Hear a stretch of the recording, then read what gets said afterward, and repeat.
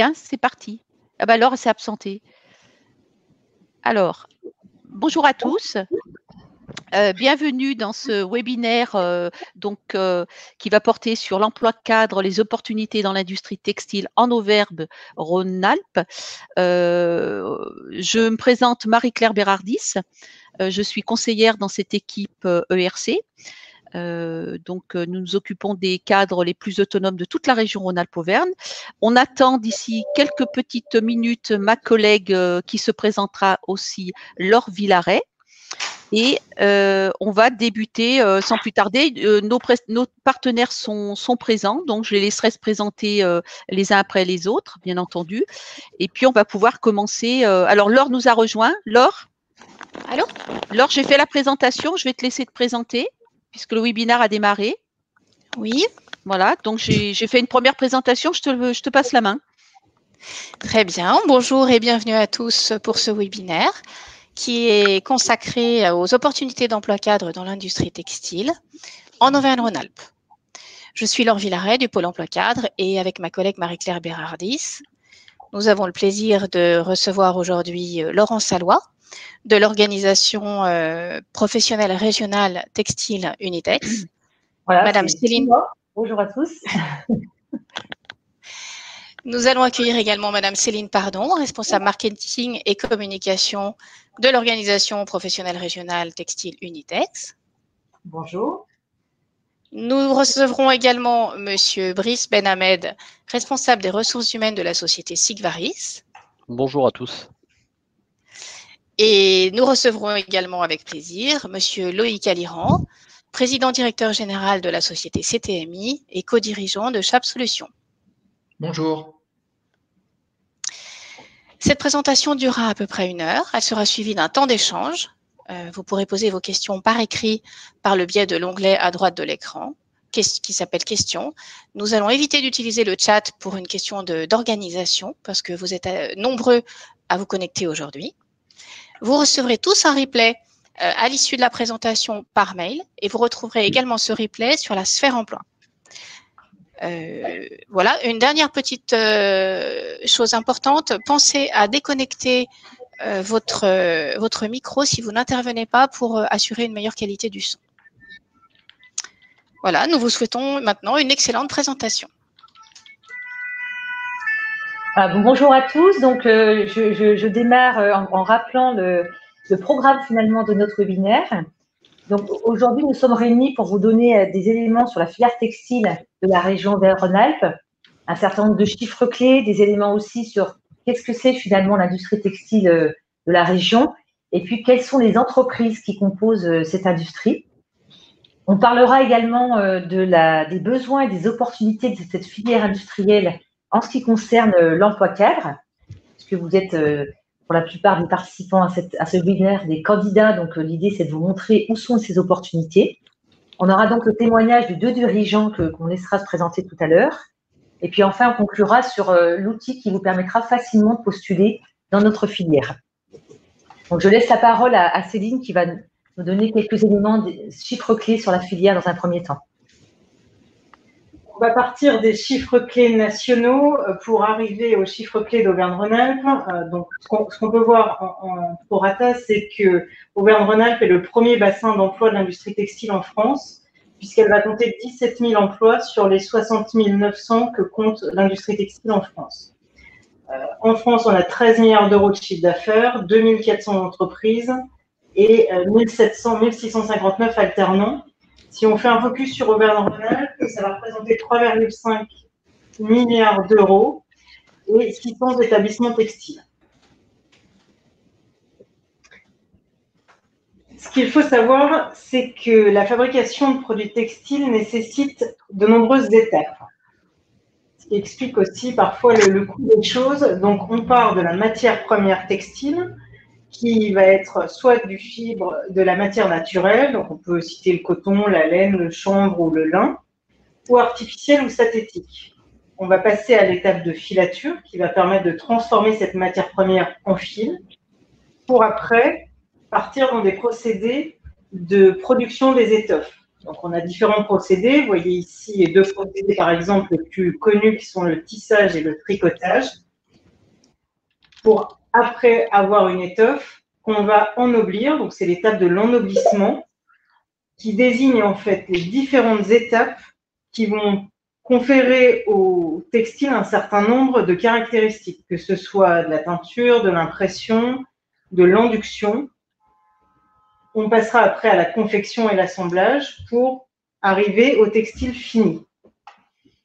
Important de savoir, c'est que le textile, souvent quand on pense au textile, on pense mode et habillement.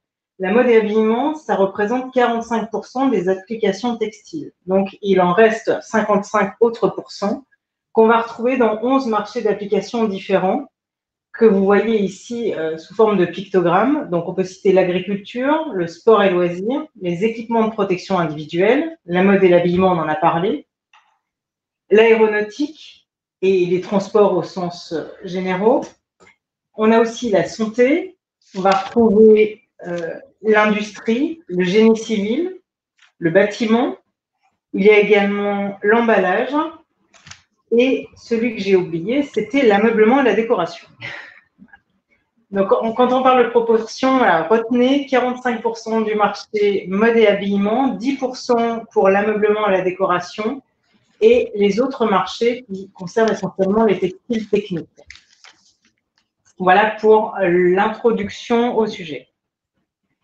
Alors, si on rentre un petit peu plus dans le détail, finalement, euh, pour savoir où sont les entreprises euh, qui fabriquent, qui sont sur toute ou partie de cette chaîne de valeur qu'évoquait à l'instant Céline. Vous avez à l'écran euh, une cartographie des, des 600 établissements euh, textiles dans la région d'Auvergne-Rhône-Alpes que je vais commenter. donc, on, voit qu'il y, a des poches plus ou moins importantes de, concentration d'industrie textile qui sont très liées à l'histoire de cette industrie, hein, qui est une histoire multiséculaire. Hein, avec un gros, une importance du textile euh, au 18-19e siècle avec la soie euh, à Lyon. Donc c'est de cette euh, histoire qui est née l'industrie actuelle et son adaptation au nouveau marché. Donc le premier gros, bassin textile de votre région, c'est le Rhône et si on élargit le Beaujolais. C'est le premier cadre en haut de l'écran. Donc là, on a, on a une forte concentration d'industrie textile donc, j'ai cité à chaque fois quelques exemples.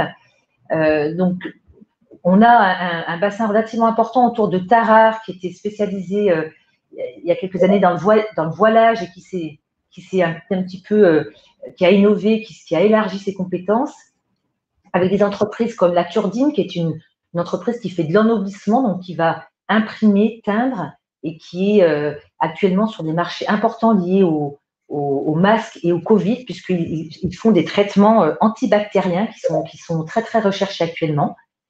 On a également euh, euh, dans ce secteur, par exemple, Ballast Textile ou SNB Borcoat, qui conçoivent des textiles très innovants et qui sont d'ailleurs associés à, à, CTMI, on en parlera tout à l'heure avec Loïc, sur le projet Chab, où on a aussi autour de Villefranche la société TIM, qui est une filiale du groupe Deveau qui fait également de, l'impression euh, numérique de, textiles, ou Proverbio à, à Miribel, qui est, spécialisé dans l'ennoblissement de textiles, euh, de la mode et du luxe, notamment euh, de la soie.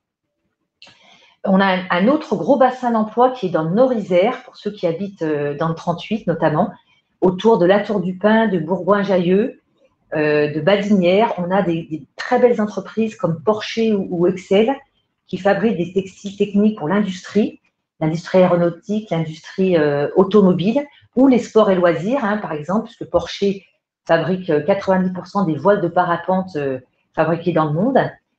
On a également un acteur comme les Tissage Perrin au Grand Lens qui est un groupe associé au groupe Hermès et qui, fabrique des tissus en soie qui vont servir à fabriquer des, carrés, des carrés Hermès, par exemple ou c'était mis à la Saône, euh, dont on aura la chance d'avoir euh, des éléments tout à l'heure avec Loïc.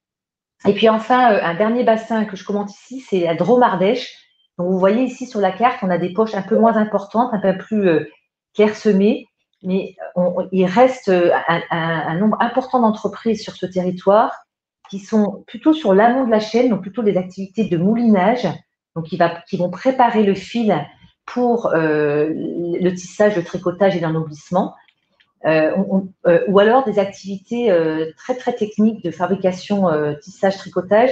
On peut citer Palien au Vence en Ardèche, qui vraiment maîtrise toute la chaîne de valeur textile, du, moulinage jusqu'au produit fini. Donc, c'est une des rares entreprises qui a toute la chaîne de valeur.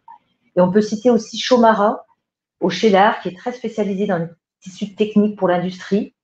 Très belle entreprise, ainsi que Chamatex à Ardois, qui, euh, qui a fait parler d'elle euh, récemment avec la nouvelle usine qui s'appelle Advanced Shoes Factory, qui fabrique des textiles euh, qui, sont euh, utilisés pour la fabrication de chaussures, la, matière matrix, et dans l'idée de réintroduire en France la fabrication de chaussures avec des acteurs comme Salomon qui jusque-là étaient euh, délocalisés.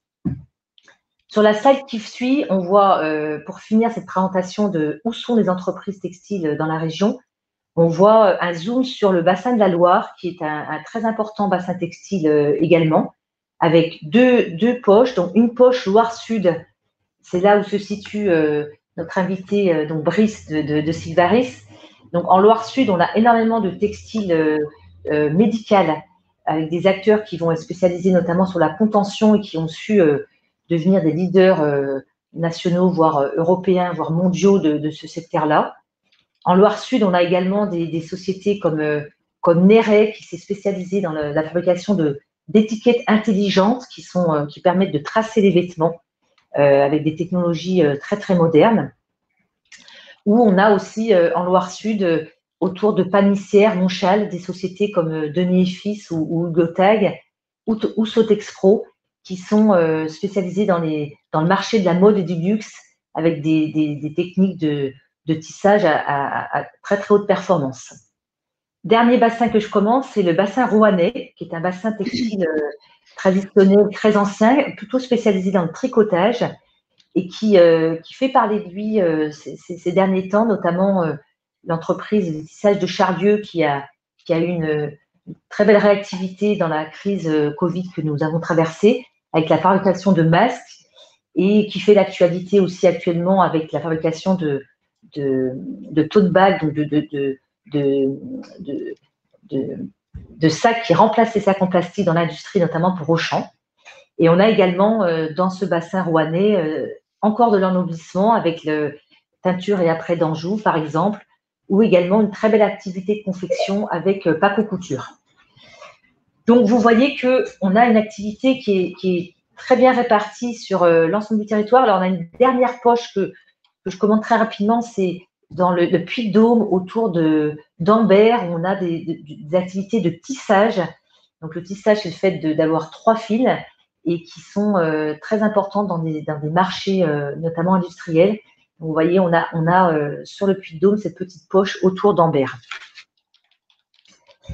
Voilà un petit peu sur la cartographie. Alors maintenant, vous êtes des candidats cadres à cette industrie. Euh, comment, euh, comment se présente, euh, quels sont les, besoins des entreprises et quelles sont les opportunités pour vous en tant que cadre? Alors, la première chose que, l'on peut dire, c'est que les métiers en tension dans la filière textile Auvergne relèvent plutôt de la production. Alors, ce qu'on appelle un métier en tension, c'est un métier sur lequel on a du mal, les entreprises ont du mal à trouver des candidats et à pourvoir aux postes qui sont proposés. Donc cette tension dans le textile, elle est, elle est dans la production, c'est-à-dire plutôt des métiers euh, d'opérateurs ou de techniciens de production. Donc je suis, quelques exemples sont cités ici. Vous avez le, conducteur d'équipement industriel ou le, euh, le, mécanicien régleur, qui est un poste clé pour euh, évidemment pour régler une machine et, s'occuper de la, maintenance. Ou un dernier exemple, on a le, le contrôleur qualité conformité. Donc il s'agit de personnes qui vont visiter les tissus, c'est-à-dire qui vont vérifier en sortie de chaîne qu'ils sont bien conformes en termes de qualité.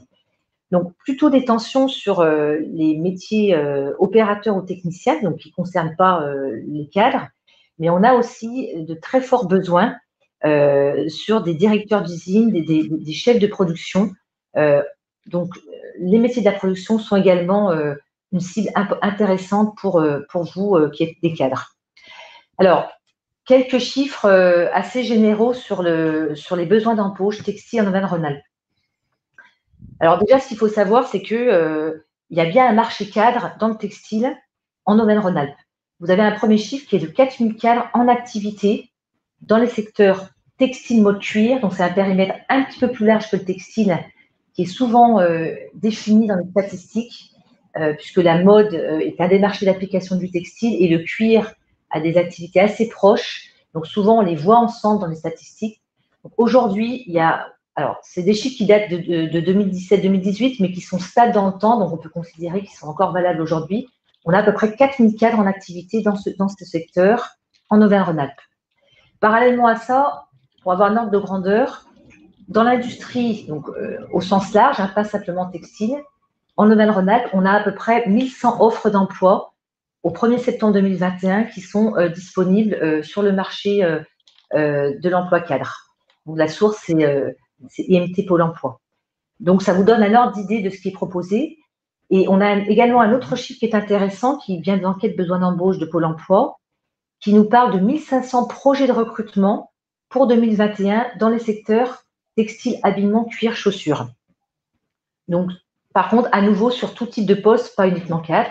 Et si on regarde précisément combien concerne des cadres, on a environ 80 postes, donc actuellement euh, euh, proposés en 2021, qui concernent des cadres.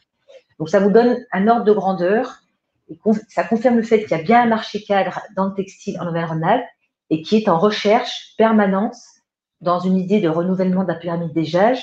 Et puis on le verra tout à l'heure avec l'exemple de, de et de, de CTMI, euh, parce qu'il y a des innovations et que les postes cadres sont recherchés en permanence dans, notre industrie. Un dernier élément euh, d'information sur le, sur le, marché. Vous avez ici des chiffres sur les déclarations préalables à l'embauche. Donc, c'est une, démarche administrative que doivent faire les employeurs quand ils cherchent à recruter. Donc, dans les déclarations préalables à l'embauche de juillet 2020 à juin 2021, on voit euh, les, codes NAF sur lesquels les entreprises euh, se positionnent ou en tous les cas ont des, ont des besoins. Donc, on voit ressortir euh, le code NAF 1396Z, donc fabrication d'autres textiles techniques industriels ou fabrication d'articles textiles sauf habillement ou alors ennoblissement du textile. Donc, on voit que c'est là que sont concentrées les déclarations préalables à l'embauche et c'est là où vous devez aller euh, chercher euh, euh, des entreprises qui, recrutent dans, votre, dans vos démarches et dans, vos candidatures. Enfin, en résumé, quels, sont les focus sur lesquels vous pouvez vous intéresser à, l'emploi cadre textile dans la région?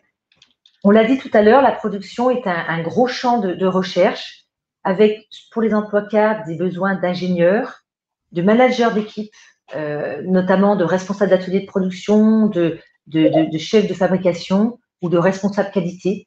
Donc des, cadres qui vont être, euh, qui vont avoir des compétences, euh, des polyvalences sur, sur ces fonctions de management et d'ingénieur. Dans les fonctions support, il y a des forts besoins dans, dans l'achat, dans le business développement. On aura un exemple concret tout à l'heure avec, avec CTMI ou Chab.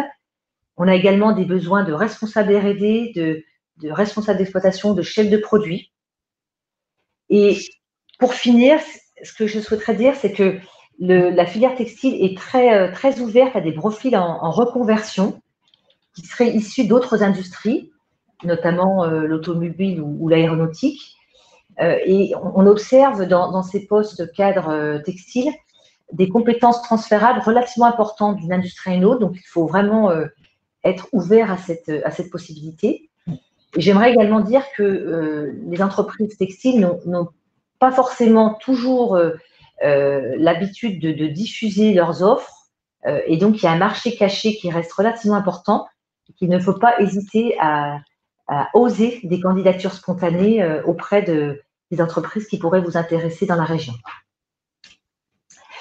Donc voilà un petit peu pour, les données générales sur, l'emploi on, va maintenant euh, passer au témoignage. Donc, nous allons effectivement passer à la partie concrète avec deux témoignages. Donc, on a le plaisir d'accueillir Brice Benhamed, RRH de la société Silvaris, avec nous, qui est spécialisée dans le textile médical et euh, essentiellement basée dans le bassin stéphanois. et Loïc Aviron qui a deux euh, casquettes, à la fois DG de CTMI, qui fabrique du textile technique, et co-dirigeant de la société Chab, qui est un exemple d'innovation dans le textile avec des applications pour le BTP, une entreprise un peu plus récente. donc, je vais laisser Brice commencer avant de passer à Loïc Aviron bonjour à tous. Euh, écoutez, moi, euh, ce matin, euh, en guise de témoignage ou d'introduction, je vais vous dire qu'on a tous été candidats. Et moi-même, j'étais candidat avant d'intégrer le, secteur textile. C'était quelque chose que je connaissais pas du tout avant 4 ans. et si j'avais pas eu un jour bah, quelqu'un qui m'appelle pour, pour me dire, ben voilà, il y a, cette opportunité, je l'aurais jamais découvert. Donc, euh, osez vous renseigner voilà, vraiment euh, sur, euh, sur, ces, sur cette filière parce qu'elle est très riche. Hein. quand je dis très riche, riche en technicité, riche en métier, riche en diversité de profils. Donc voilà. Et il n'y a pas d'appréhension. Voilà. Pour moi, à titre personnel, je venais du secteur agroalimentaire et je n'avais rien à voir avec le textile. Donc c'est déjà le premier message que je veux vous envoyer. Le deuxième, c'est que c'est un secteur qui reste euh, dynamique. Hein. On a été, euh, comme toute entreprise, bien chahuté euh, avec, avec ce qui s'est passé avec la, crise Covid. Hein, et c'est pas terminé, mais on reste positif et des opportunités de recrutement, il y en a, il y en a tout le temps. Donc voilà, moi là je viens de clôturer un recrutement cadre sur un poste de responsable d'atelier.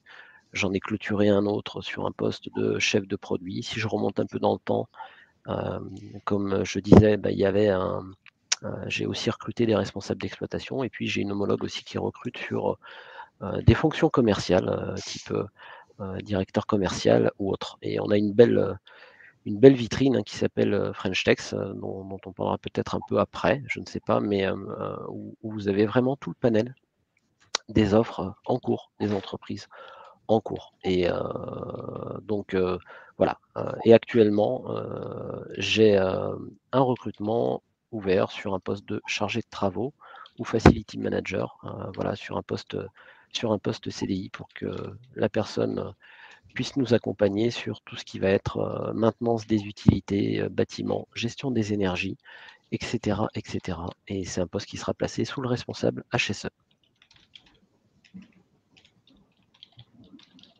Voilà pour moi. Merci, euh, beaucoup, Brice. Loïc, on va vous laisser vous, présenter également. Oui, très bien. Euh, le temps de parole est de combien à peu près? Oh, comme vous voulez. Euh, c'est un petit peu en fonction de ce que, ce que vous souhaitez prendre comme temps de parole. L'idée, c'est que vous puissiez rapidement vous présenter, qu'on puisse après avoir un jeu de effectivement questions-réponses sur différentes actions. Prenez le temps de vous présenter comme vous souhaitez, Loïc. Très bien, merci. Donc, merci pour, pour l'invitation. Donc, c'est vrai qu'aujourd'hui, euh, moi, je souhaite apporter le témoignage d'un dirigeant de PME.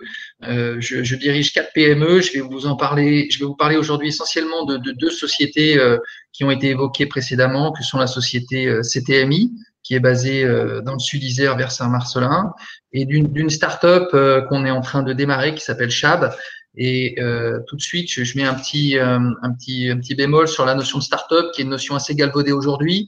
C'est-à-dire que nous, on n'est pas une start-up du numérique, on est vraiment une start-up textile, c'est-à-dire que derrière, derrière la société, il y a vraiment un produit qui porte un brevet et qui est vraiment une innovation. Donc, on est vraiment dans le textile, dans le concret, c'est-à-dire qu'on va fabriquer des produits et je pense que c'est une notion importante, importante pour tout candidat qui souhaite rejoindre euh, le textile, a fortiori le textile technique, que donc on va beaucoup parler de technicité, on va beaucoup parler d'innovation. C'est le seul moyen qu'on a trouvé euh, en France et en Europe pour se démarquer des, des pays à bas prix. Euh, le textile est une des plus vieilles euh, industries manufacturières au monde. Et aujourd'hui, les sociétés qui se, qui se, qui s'en sortent bien, notamment en région Auvergne-Rhône-Alpes, sont des sociétés qui ont réussi à prendre le virage de l'innovation et de la technicité. Donc nous, derrière chaque profil, il y aura toujours des produits. Derrière chaque produit, il y aura des hommes qui les fabriquent, des hommes qui les conçoivent et des hommes qui les vendent. Mais donc, on est vraiment dans la notion du, du produit qu'on crée, qu'on transforme et qu'on valorise. Donc, CTMI, en deux mots, c'est une société euh, qui, euh, qui est essentiellement basée autour de, des tissus en fibre de verre, de carbone, qui sont ensuite imprégnés de résine euh, pour adresser des marchés de l'aéronautique civile, militaire, spatiale et, de la défense. Voilà. On est une PME très innovante et donc du coup c'est vrai qu'on intervient dans, l'architecture régionale autour de très gros acteurs, de grands groupes qui sont structurés. Donc c'est vrai que moi j'ai également un petit témoignage au niveau de, des PME parce que donc on a une philosophie très différente. Il y a des très belles sociétés que je viens de citer. Bien sûr, Sigvaris est une très belle société aussi qui a toutes les fonctions support, euh, ce qui n'est pas forcément le cas pour un, pour un dirigeant de PME. Et donc c'est vrai que nous on est toujours confrontés à des besoins de recrutement pour nous adapter à, différents types de projets. Et, et, ce qui nous bloque un petit peu au niveau de nos recrutements, c'est qu'on a moins de visibilité que des sociétés qui sont, qui sont bien organisées, qui, avec des services supports, qui vont faire la publicité des postes offerts. Et donc, pour rebondir sur ce que disait Laurence, c'est vrai qu'il faut vraiment aller sur les types de plateformes qui sont mises en place aujourd'hui pour connaître ce qui existe au sein de toute cette myriade de PME qui existent euh, en Auvergne-Rhône-Alpes et qui sont à l'écoute qui sont à l'écoute de profils compétents, c'est-à-dire formés au textile, mais ce qui est de plus en plus rare, et surtout de, de personnes en, avec une volonté d'innover et de se reconvertir donc nous, chez CTMI, typiquement, on ne trouve jamais une personne avec le profil qu'on cherche. Mais par contre, on a une organisation qui fait qu'on va la former sur nos, sur nos fonctions, sur nos métiers, pour qu'elle devienne euh, compétente et opérationnelle entre 6 et 12 mois, voire 18 mois, quand on parle de, de, de fonctions support pour l'aéronautique. Donc, je vais très, rapidement terminer sur, sur CTMI en disant que que nous, effectivement, on va être, on va être intéressé par des profils en, en production et en recherche et développement. Hier même, on a deux, deux jeunes euh, qui, qui, viennent d'arriver, une, une en chargée de mission euh, qui finit, qui finit son parcours d'ingénieur et une autre qui, qui démarre son parcours d'ingénieur en R&D. Voilà, donc on, ce sont des profils R&D, des profils de soutien à la production qui, qui vont nous intéresser. Et puis le, la deuxième catégorie, ça sera effectivement tout ce qui sera chef de projet et puis vente.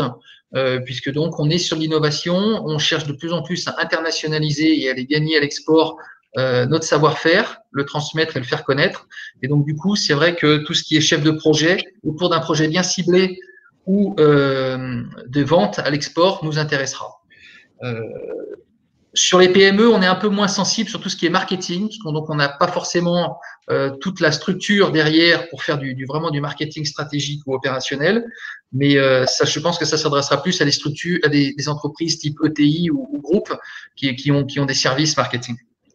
Alors, je vais basculer sur l'autre société qui, qui, je pense, a été l'origine de ma sollicitation par, euh, par Pôle emploi et Unitex autour de, de Chab. Chab, moi, le témoignage que je peux porter, c'est que c'est une, une start-up. C'est une start-up dans la mesure où euh, ça fait euh, six ans, presque sept ans qu'on développe un produit qui est un produit extrêmement intéressant puisqu'il s'agit d'un produit euh, qui est, qui est breveté aujourd'hui, qu'on internationalise au niveau mondial, puisqu'on est en train d'étendre notre brevet sur toutes les régions du monde, et qui en fait est un produit qui fait la croisée des chemins entre le textile traditionnel, puisqu'il s'agit ni plus ni moins qu'une chaussette tricotée, mais qui va s'adresser au monde du BTP. Euh, et on vient faire une alternative à des pieux qui sont en acier aujourd'hui. Donc, vous voyez, il y a sept ans, on n'avait pas du tout la crise autour des matières premières et, de l'acier notamment. Euh, et nous, on vient remplacer plusieurs tonnes d'acier sous forme de tube par une chaussette en textile qui va résister, qui va venir remplacer cet acier dans le cadre de fondations profondes. Et donc, euh, il y a sept ans, on a eu cette idée. Euh, on, est trois dirigeants d'entreprise, on s'est concerté, chacun avec nos savoir-faire, nos idées, notre techno, et on, a travaillé pendant sept ans en R&D, euh, avec un fort soutien de, de, la région notamment, et on a fini par mettre au point ce produit qui aujourd'hui rentre en phase, en phase opérationnelle. Donc, on a deux recrutements qui sont ouverts aujourd'hui. Euh, c'est vraiment un projet, je trouve, qui est passionnant, puisque donc on amène de la technicité et de l'innovation, on fait vraiment bouger les lignes sur le secteur du BTP. C'est un secteur où on n'y connaît toujours pas grand-chose, mais on est vraiment accompagné, notamment par l'INSA, le département génie civil, qui nous accompagne depuis plus de trois ans. Euh, et aujourd'hui, on est en, recherche de deux postes. On est en recherche de notre premier chef de projet, notre premier commercial, qui va aller chercher les premiers clients. Et puis, on est également aussi en recherche euh, d'un docteur en génie civil ou en géotechnique. Ce sont des profils très éloignés du textile traditionnel, mais c'est pour vous expliquer que le textile technique, eh bien, il peut s'adresser à des marchés totalement différents du textile et qu'on est intéressé par des profils euh, avec d'autres expériences. Euh, mais ce seront des gens qui ont vraiment l'intérêt du produit et la volonté de faire bouger les lignes. Voilà, c'est moi, c'est vraiment le message que je cherche à faire passer. s'il y a des gens qui, veulent se, bouger, parce qu'il faut se bouger dans le textile, toujours pour résister à, ce marché très concurrentiel, eh bien, il ne faut pas hésiter à regarder dans le monde du textile technique, qui est vraiment un secteur passionnant.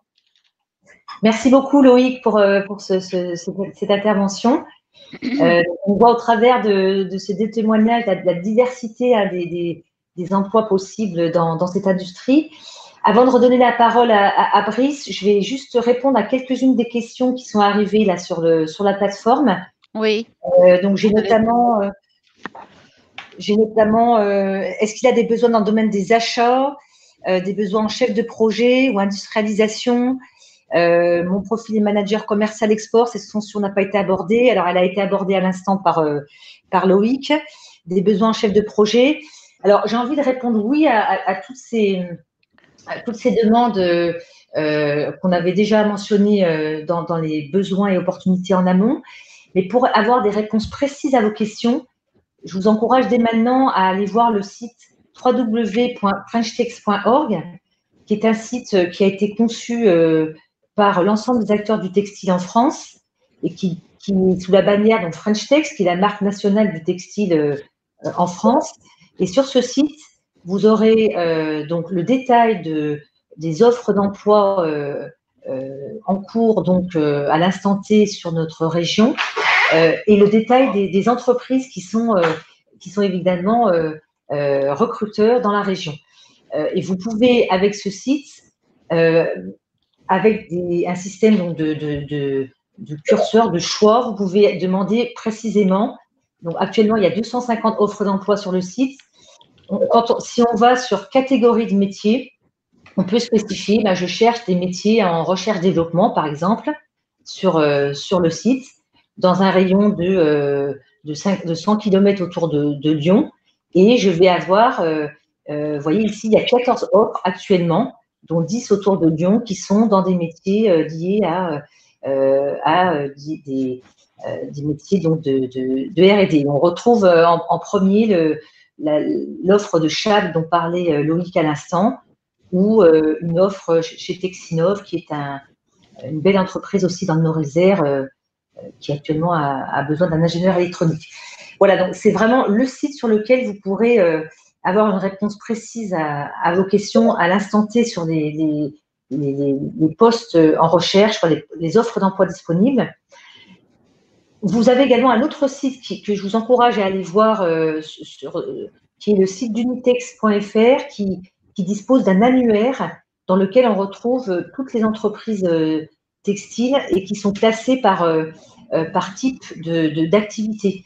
Donc, euh, c'est une autre source d'information qui peut être intéressante, notamment si vous voulez faire des candidatures spontanées pour des entreprises qui ne seraient pas sur French Tex. Cet annuaire euh, euh, est assez intéressant à utiliser. Alors, je reviens maintenant à. merci Céline de, nous montrer en direct quelques images de ces deux sites. Je reviens maintenant à Brice. Brice, est-ce que tu pourrais nous en dire un petit peu plus sur sur le, les, produits qui sont fabriqués par, par par, ces, marchés du textile médical, euh, et, peut-être sur, euh, euh, sur le, les développements en cours de l'entreprise. Je crois que vous avez deux sites, hein, un site dans le Stéphanois et puis un autre site dans, l'Est. quelle est la dynamique aujourd'hui d'entreprise et, comment, en termes de, de, produits, elle, innove pour toujours être concurrentielle sur ce marché? Donc Sigvaris Group France, euh, c'est à peu près 700 collaborateurs euh, basés, euh, en, France. on a trois sites, un dans, un en Alsace, voilà, et deux qui sont dans la Loire, un à Andrézieux et un à Saint-Just-Saint-Rambert. on est une entreprise, je vais dire, plutôt intégrée, comme on le disait tout à l'heure, avec avec aussi des services support et on fabrique une partie de notre, de, notre fil, mais on, ne file pas hein, notre, notre fil, par contre on le, on le guipe. Voilà, ça c'est notre unité d'Andrézieux.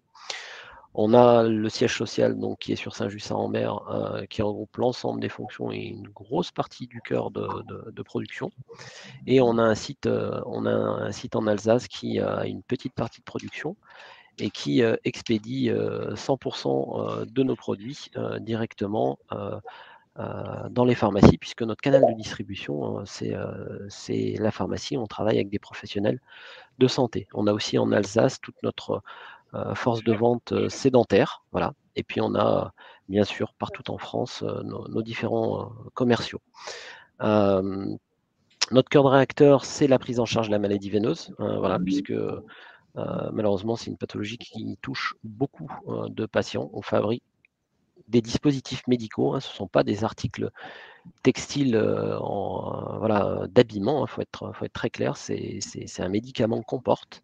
on ne l'ingère pas, mais c'est quelque chose qu'on doit porter pour prendre en charge la maladie. Et comme on est leader mondial dans la compression, et la prise en charge de la maladie veineuse, eh ben, on se doit de toujours innover. Donc, on a sans cesse sorti, sorti, des innovations au marché dont je ne peux pas trop parler parce que, comme on est dans le dispositif médical, j'ai pas mmh. trop, comment dire ça, l'autorisation de parler de, de, mmh. de, ces innovations ou, plutôt d'en faire une forme de de marque de, fabrique, mais c'est vraiment dans notre ADN. Je reviens sur, euh, sur, euh, sur ce qui était dit tout à l'heure.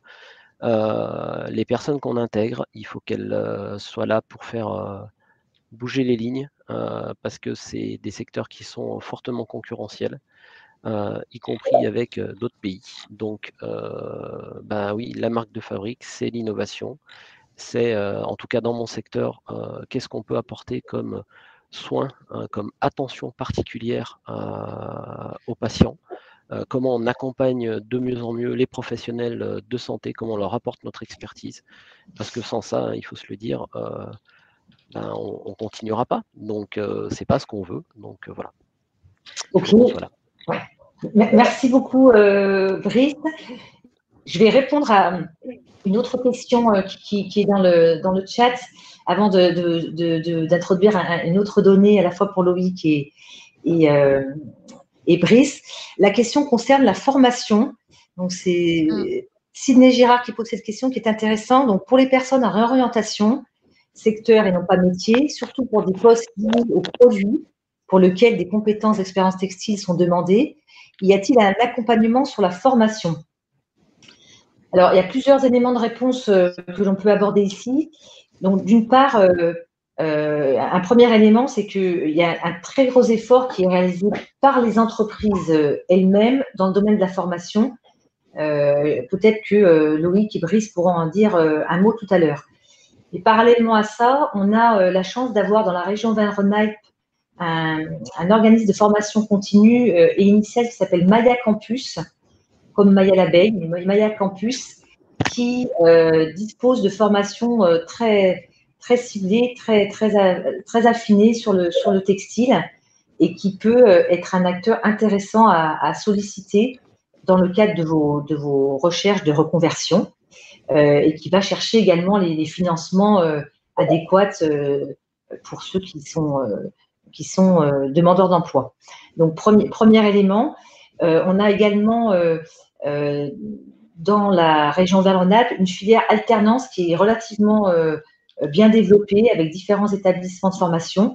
Si vous êtes euh, dans, ce cas-là, euh, dans cette possibilité de faire de l'alternance ou de redémarrer sur des études en alternance, c'est tout à fait envisageable dans la région.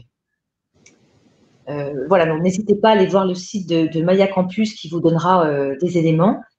je vois une autre question de, Patricia Goutéron. Ma question est pour Brice. Je suis dans le domaine commercial, mais toutes les entreprises médicales demandent obligatoirement des expériences dans le domaine médical. Euh, pourquoi? Est-ce que Brice, on, peut essayer d'aborder ce, point-là?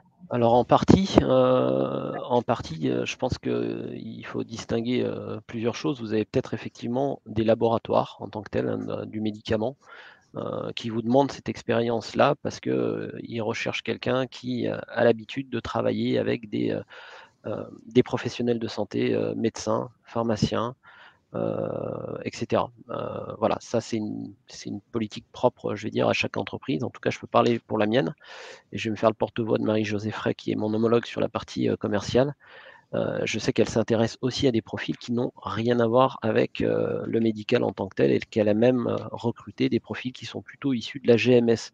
Donc, vous voyez, très, très différent de, du profil uniquement médical, hein, en tout cas commercial sur sur le secteur médical. Euh, de toute façon, l'expertise en tant que telle ou la connaissance des produits, parce que les commerciaux aussi doivent avoir une très bonne maîtrise des produits, parce que si vous n'avez pas une bonne maîtrise des produits, vous ne pouvez pas en parler avec vos interlocuteurs.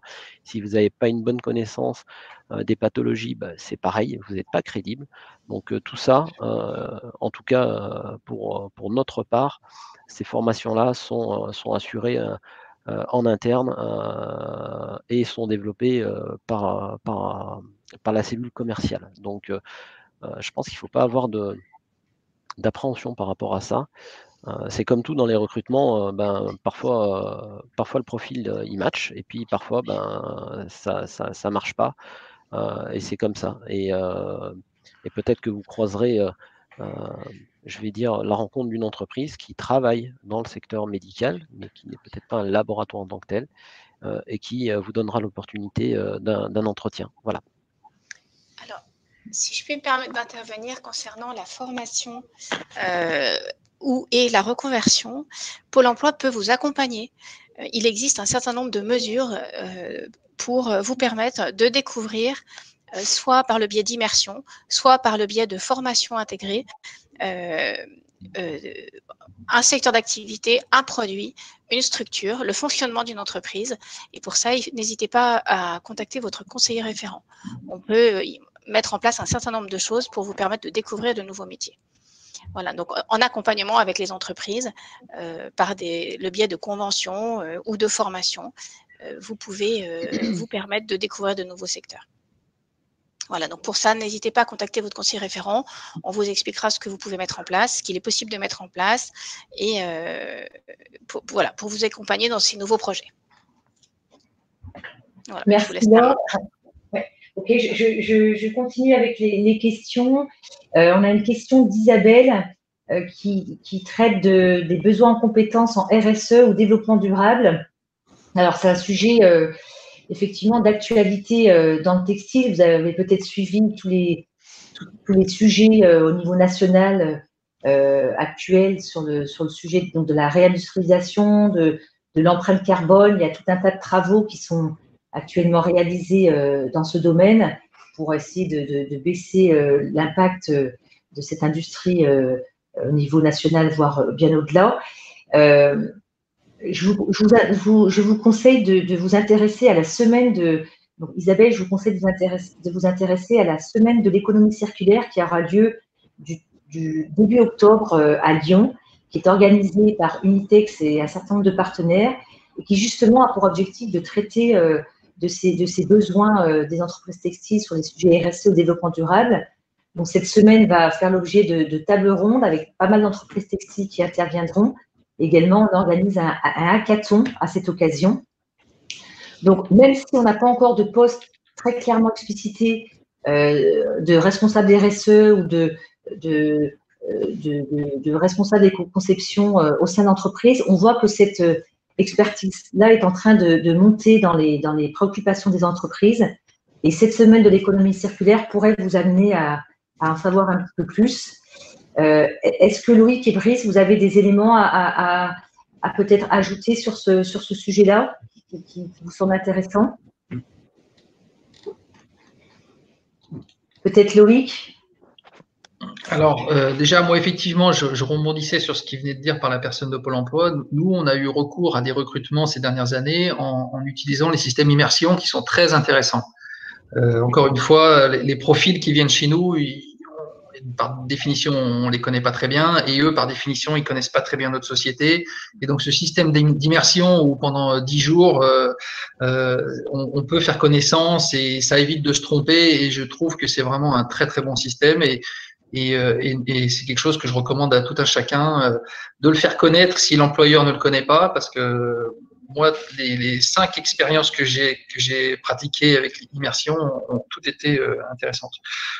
pour, la partie économie circulaire, RSE, c'est vrai que nous, encore une fois, au niveau des PME, on, a cette problématique de fonctions support qui nécessairement sont moins structurées que les ETI. Néanmoins, ce sont des vrais sujets d'actualité et on va le retrouver au niveau des profils qu'on cherche. Alors bien sûr, je redis un mot sur, euh, sur Chab où, globalement euh, tout, tout l'enjeu de cette société, c'est de, de, de, faire un énorme euh, gain économique euh, en basculant d'un tube acier à une chaussette textile, parce qu'on divise le prix par à peu près 80%.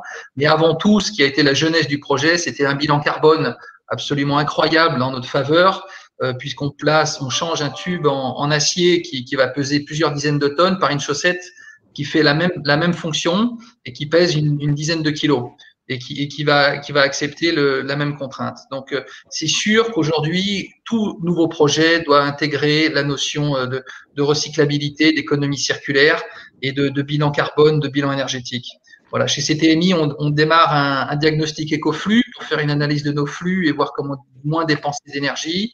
Euh, au niveau de nos produits, on, part à fond, parce que vous avez compris, on est énormément autour de tout ce qui est aéronautique, euh, défense et spatiale. Donc, comme ça avait été évoqué, euh, on a été un peu secoué en 2020, euh, mais, mais, on est en train de, de trouver euh, des, des, solutions. Et notamment, une des solutions pour nous, c'est tout ce qui est réservoir à hydrogène, le véhicule de demain qui remplacera le diesel. Et, et, les réservoirs à hydrogène seront en fibre de carbone avec des résines. donc, typiquement, notre savoir-faire, et, et, on prend ce virage. Donc, il, est certain que d'une manière ou d'une autre, tous les demandeurs d'emploi qui ont des compétences euh, auront des opportunités sur ces secteurs. Après, suivant la typologie de l'entreprise qui est en face, que ce soit encore une PME, une ETI ou, ou un grand groupe, euh, ça sera plus ou moins internalisé ou externalisé. Donc, il est certain qu'au niveau de mon entreprise, on a beaucoup recours à des experts externes, à des bureaux de consultants qui nous accompagnent dans tout ce qui est euh, formation, recrutement, diagnostic, qualité, voilà, j'ai un responsable qualité en interne, mais on est également accompagné par un, par un, expert qui nous aide à passer notre, notre ISO 9001 et notre EN 9100, qui est le certificat aéronautique, puisque je n'ai pas les, les moyens d'avoir quelqu'un à temps plein spécialisé dans, dans, tout ce qui est qualité et, certification aéronautique. Donc, bien sûr que, que c'est dans l'air du temps et qu'il y a beaucoup d'opportunités. Merci beaucoup Loïc. Est-ce que sur ce, sujet-là, Brice, vous souhaitiez euh, rajouter quelque chose? Non, je pense que tout a, tout a été dit. De toute façon, euh, aujourd'hui, toutes les entreprises euh, travaillent hein, sur, sur ces questions-là. Euh, donc voilà, sur, sur l'aspect textile, il y, a, il y, a des sujets qui sont qui sont pas d'aujourd'hui, mais tout ce qui est relatif à l'ennoblissement, procédé de teinture ou autre, l'empreinte environnementale, c'est des sujets, c'est des sujets qu'on a constamment parce que déjà on est très très implanté localement dans nos bassins. Euh, il y a un vrai ancrage territorial hein, de, de, nos entreprises. Donc, euh, ben, l'objectif, c'est d'être bien intégré, de faire les choses en responsabilité. Donc, euh, donc voilà, il n'y a pas de pas de sujet sur, sur ça. Et puis, et puis ça se ressent de toute façon même dans les jeunes candidatures que j'ai en entretien, où aujourd'hui on parlait d'innovation, de développement ou autre. Les, les, typiquement, les, les, les, jeunes ingénieurs, euh, filles garçons, sont très très sensibles à, à, à ces questions-là et je pense que et je pense qu'ils ont raison. Voilà. Parfait. Merci. Donc, je réponds juste rapidement aux questions qui sont posées sur cette semaine d'économie circulaire. Donc, oui, elle sera disponible en, virtuel.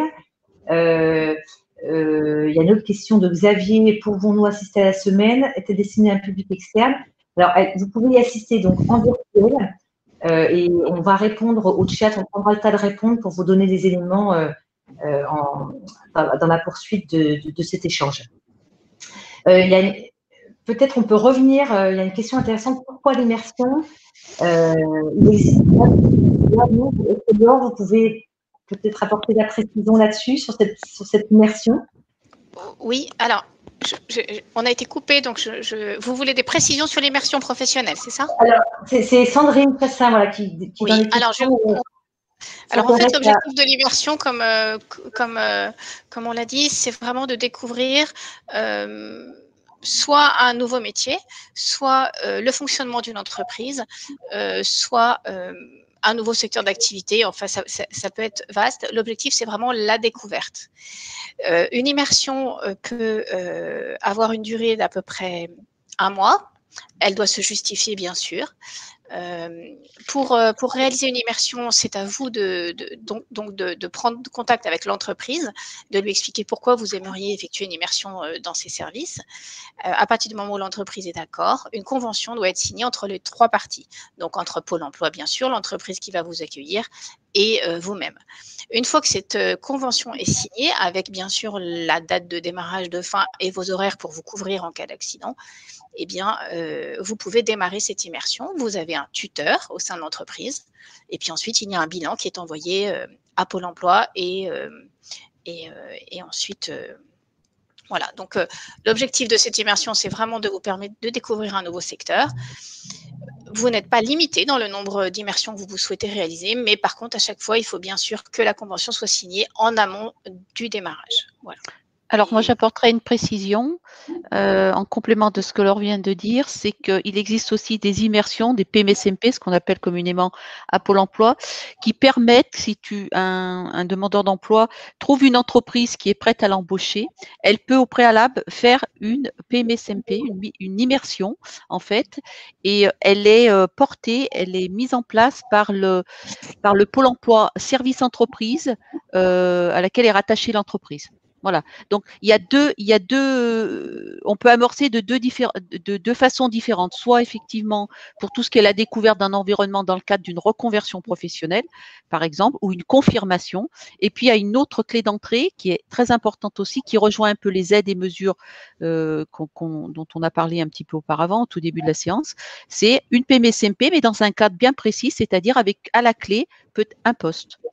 Ça peut, euh, ça peut déboucher sur un poste. Donc c'est important d'insister là-dessus parce que euh, nous, selon les demandes que l'on reçoit, par exemple, de, des personnes que l'on suit, euh, on va orienter différemment.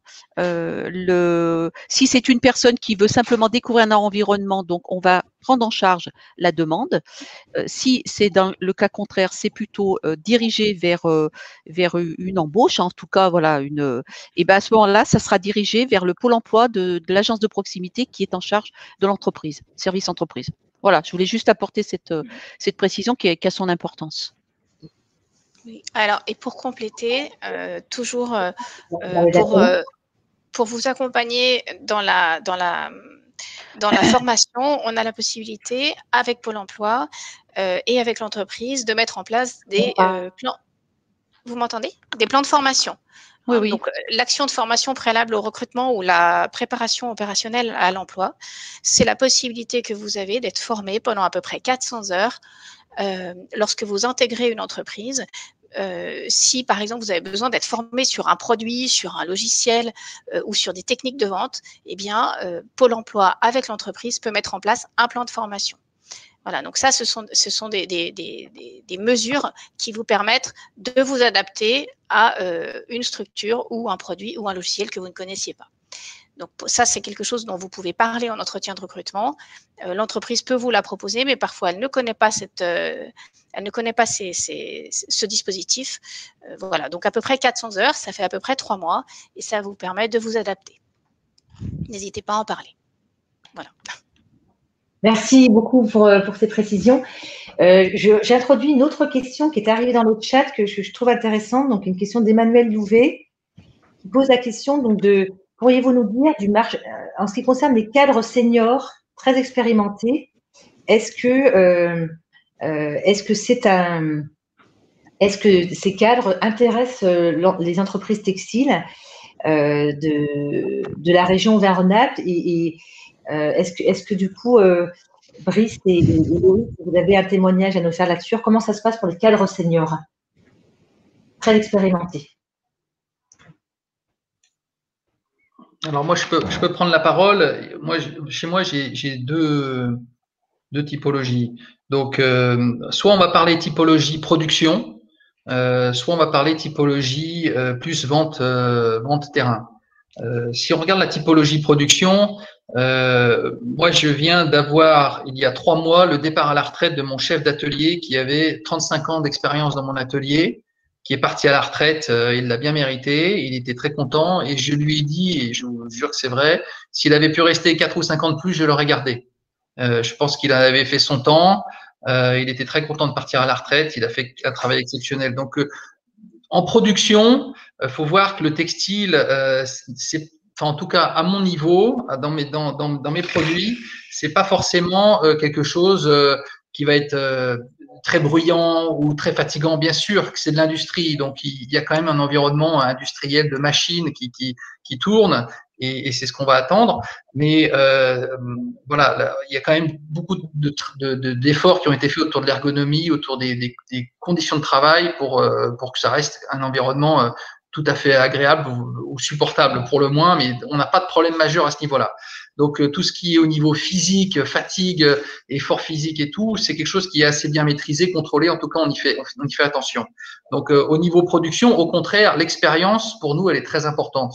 Euh, comme je vous l'ai expliqué, et c'était une des raisons aussi pourquoi on, faisait pas mal d'immersion, c'est que les gens, quand on les recrute, on cherche à les garder le plus longtemps possible. Nous, nos formations, je vous ai, cité tout à l'heure, un, un, opérateur qui va fabriquer des préformes pour Airbus, il a entre 12 et 18 mois de formation pour être opérationnel. Donc, je vous assure que quand je l'ai formé, j'ai vraiment pas envie de le perdre parce que sinon, on recommence tout à zéro. Euh, donc, euh, on a eu une période un peu compliquée en aéronautique. Ce sont des gens que j'ai basculés sur d'autres ateliers pour faire de la formation interne pour qu'ils soient polyvalents. Donc, l'expérience pour nous, elle est importante.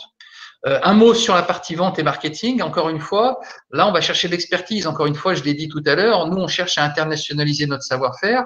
Et donc, du coup, sur le terrain, euh, l'âge n'a absolument aucun problème.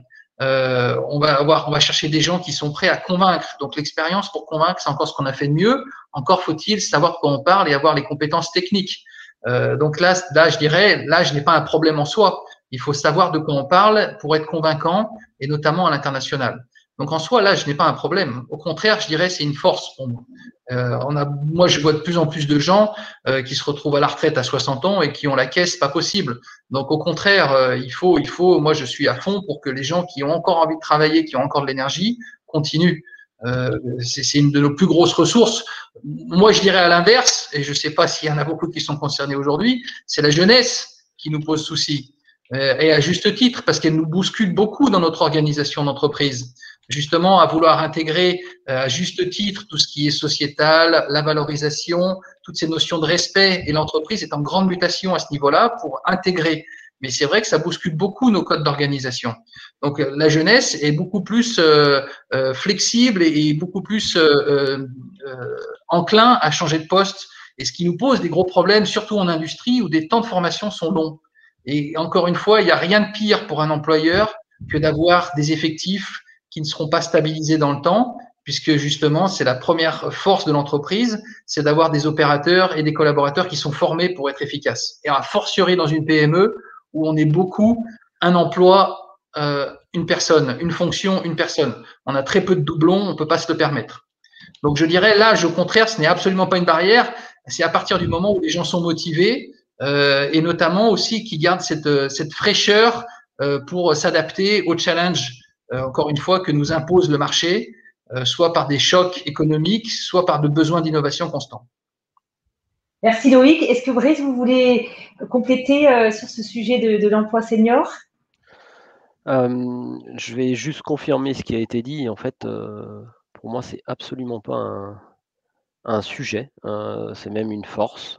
dernier, dernier, dernier contrat CDI que j'ai fait cette semaine personne, excusez-moi, j'ai un doute entre 59 et 60 ans. Donc c'est pas c'est pas un sujet en tant que tel. Il faut que les personnes elles, elles aient, elles aient toujours l'envie, le recul nécessaire, l'agilité aussi nécessaire dans les organisations parce que qu'on soit petit ou moyen, les entreprises en fait elles se transforment, elles se transforment toujours et ça va continuer. Et ce qu'on cherche, c'est effectivement des collaborateurs qui, euh, qui ont de l'expérience, hein, si, on parle, euh, si on parle de seniors, capables d'absorber ben, euh, les nouvelles façons de travailler, etc. etc. Mais ce n'est pas, pas un problème en soi.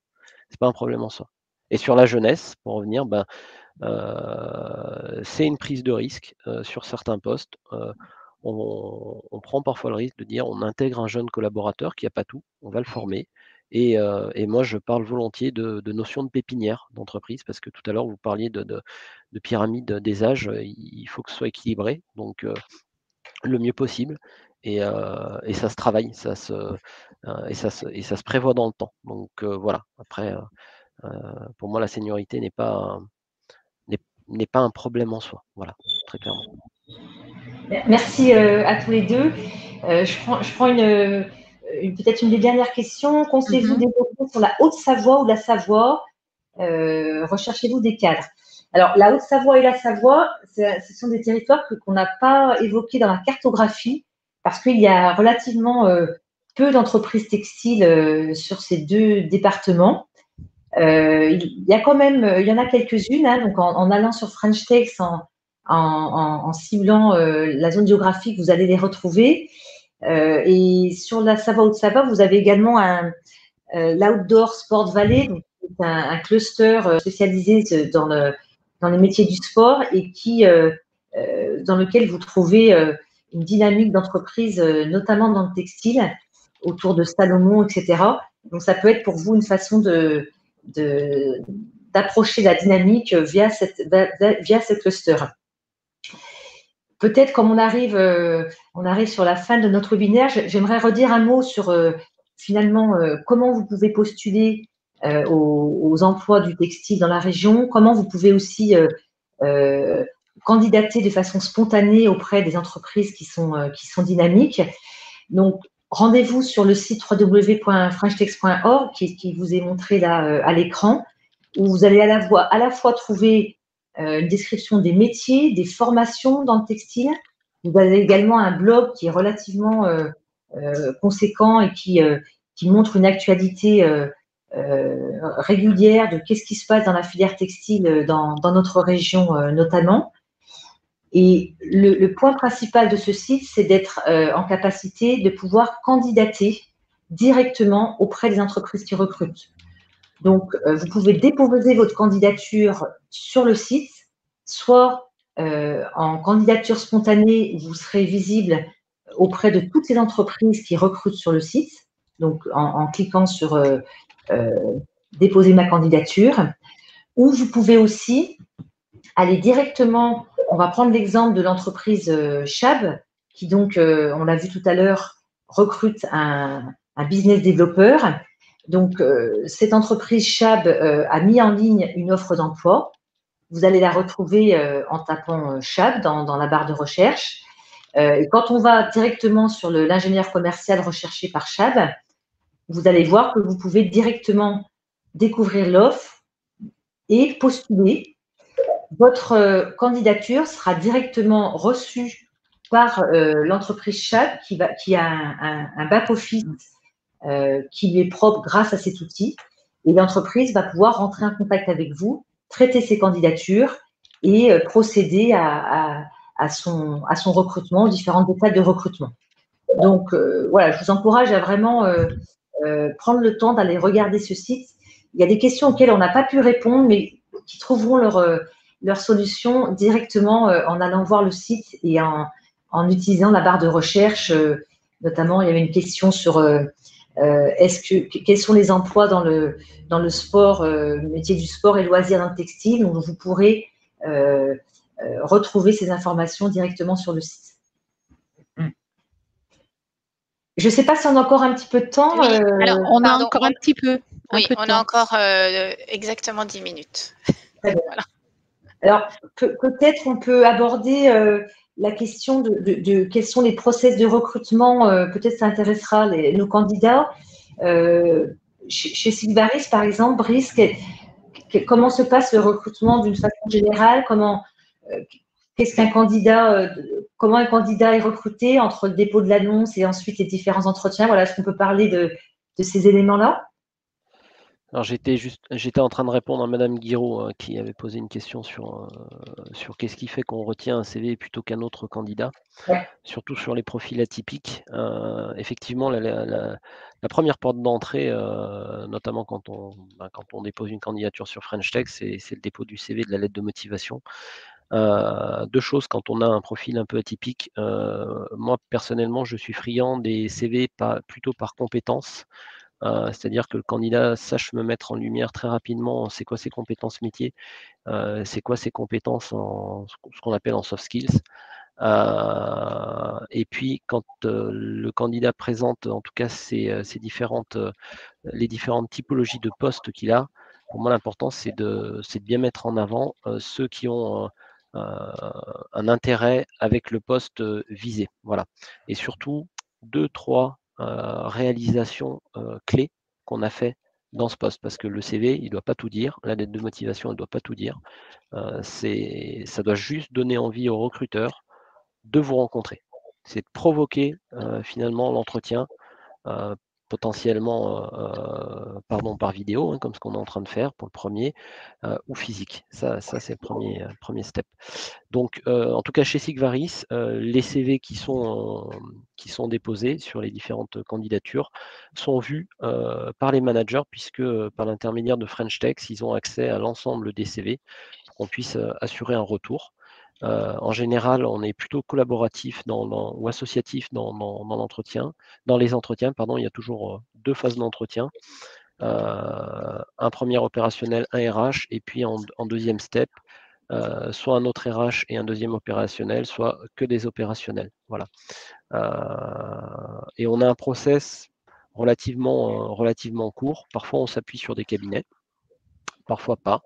Euh, on fait passer aussi euh, des, tests de personnalité, mais je le redis, le test de personnalité, euh, c'est qu'un outil. C'est pas pas ce sur quoi on, on, assoit notre décision. voilà, et, c'est presque plus un outil pour le manager parce que ça va lui permettre de verrouiller certains éléments qu'il a pu détecter en, entretien et y être attentif pendant le parcours d'intégration, parce que, comme on le disait tout à l'heure, quand un recrutement, il, est réussi, pas quand on a uniquement signé le contrat avec le candidat et, à qui on a dit, bah, OK, go, vous commencez là, mais plutôt quand l'intégration s'est bien passée, parce que c'est là où ça va commencer à produire ses, fruits. Voilà. voilà ce que je peux vous dire sur le, sur le process de recrutement, en tout cas chez nous. Ok, merci beaucoup euh, Brice. Est-ce que Loïc, vous avez des, vous souhaitez apporter des précisions en ce qui concerne le processus de recrutement, euh, par exemple le processus en cours chez Chab ou, d'autres recrutements que vous avez pu faire euh, ces, derniers, mois?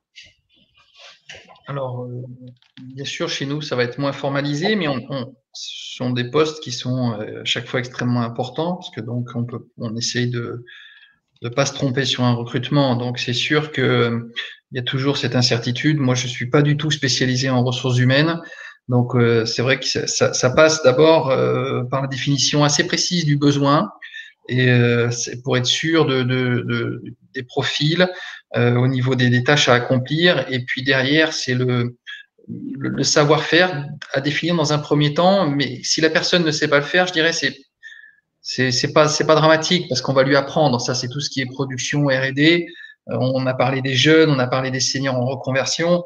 Euh, nous, nous c'est notre quotidien aujourd'hui. L'industrie textile elle a quand même beaucoup souffert. On a eu des grosses hémorragies euh, d'entreprise et en termes d'emploi. Donc aujourd'hui, on a appris ça à former les gens en interne sur, sur nos métiers. Donc je dirais c'est c'est pas rédhibitoire. C'est vraiment le savoir-être qui est vraiment important au final. C'est vraiment l'état d'esprit et on en revient encore à cette jeunesse ou les personnes qui sont dans leur dernière période de, de vie professionnelle. Ce qui est important, c'est d'avoir envie, d'avoir l'agilité, d'être à l'écoute et, de participer à un projet.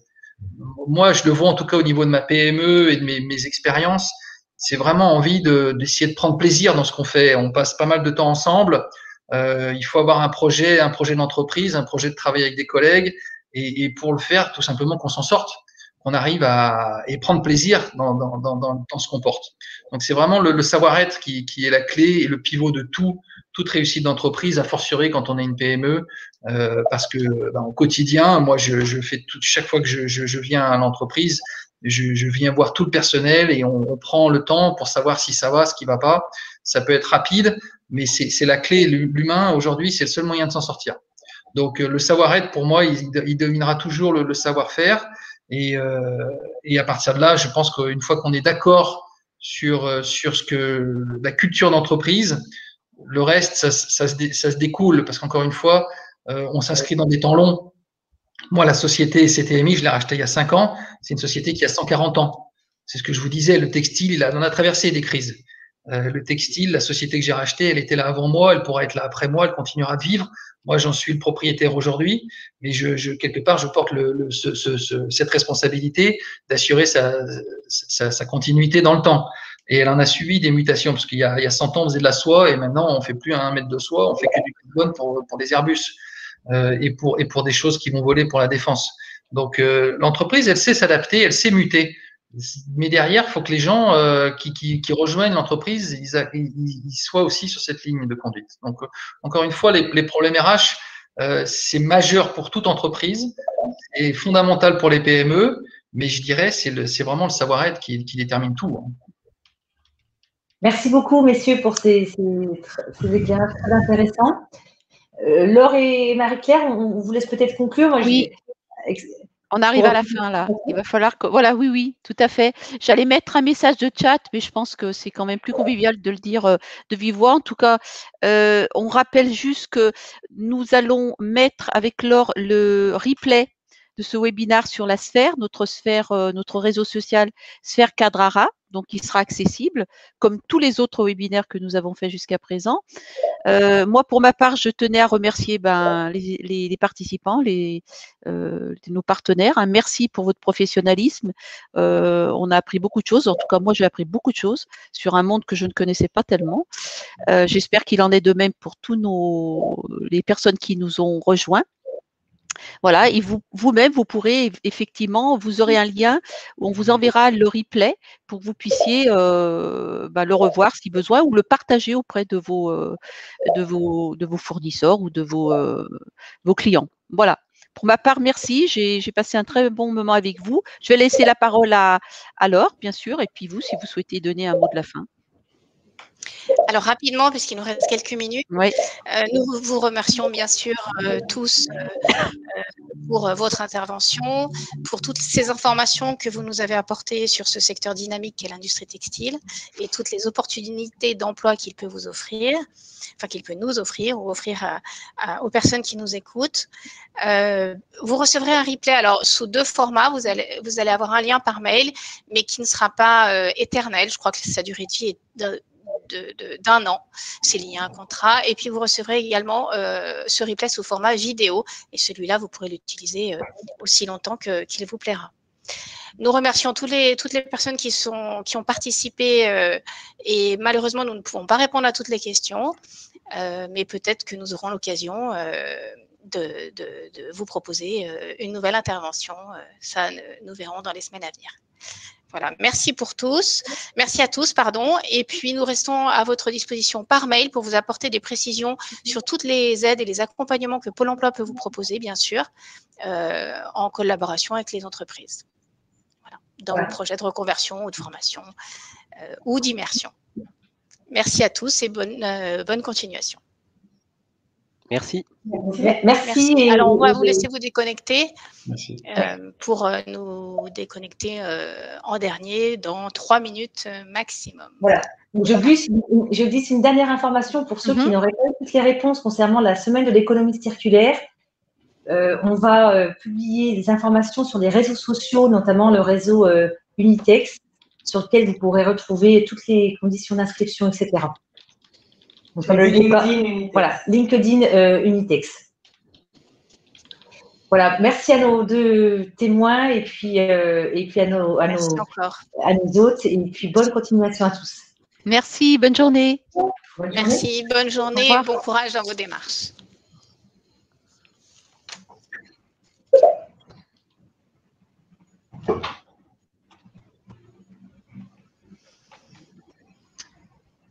On va vous laisser vous déconnecter.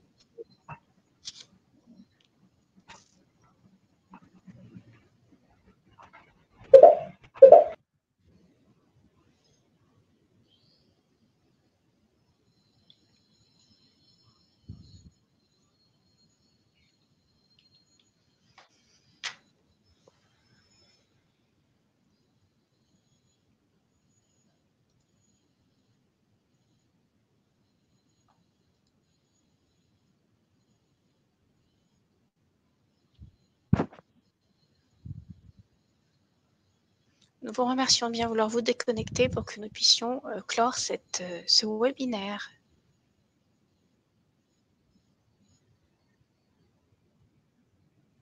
De toute façon, il va se déconnecter lui-même dans une minute. Je pense, je pense. Hein. Moi, je vais me déconnecter, Laure. Tu m'entends? Oui, je t'entends. Et puis, je, on fera le point si tu veux après. Bien sûr. Je dis au revoir à Monsieur Abris.